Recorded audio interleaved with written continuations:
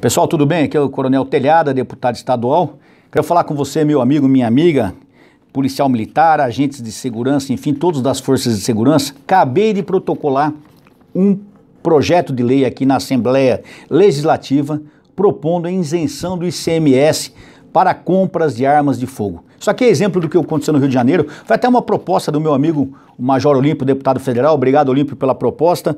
Nós estamos aqui protocolando um projeto de lei inserindo o item 3 ao parágrafo 4 do artigo 5 seção 2 da Lei 6374 de 1989. O que, que fala isso aqui? Fala justamente na isenção do ICMS. E quem nós estamos propondo para quem seja isento de pagar ICMS? O, aqui nós estamos aqui colocando o item 3, então.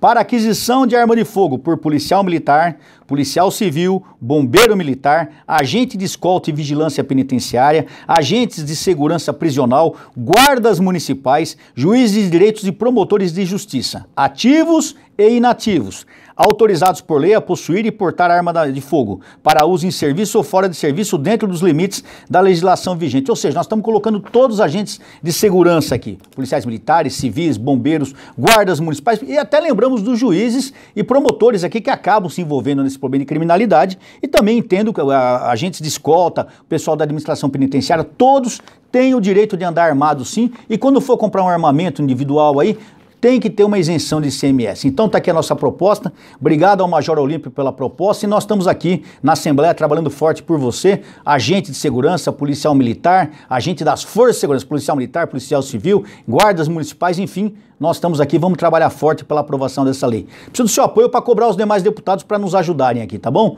Contem conosco, um grande abraço a todos.